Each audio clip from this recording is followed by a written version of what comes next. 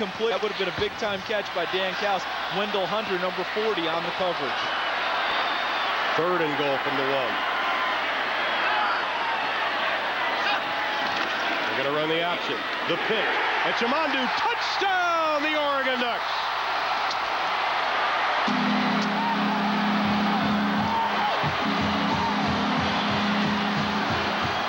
Whitehead on the touchdown, and the Ducks have taken the lead.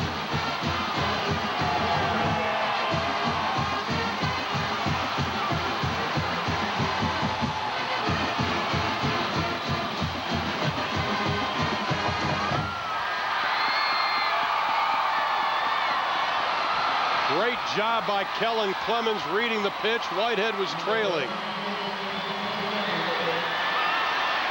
He learned from the previous play where he didn't pitch the football and was tackled inside.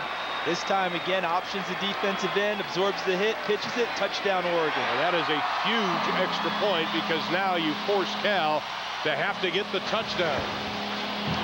Watch Clemens going to the corner. Him right there, Donnie McCleskey, number 21, the rover back, forced to make a decision, go for the pitch or the quarterback. Forces the quarterback to pitch it. Kellen Clemens, perfect pitch to Terrence Whitehead. And the Oregon Ducks have battled all night long and now have the lead. First lead of the ball game for the Ducks.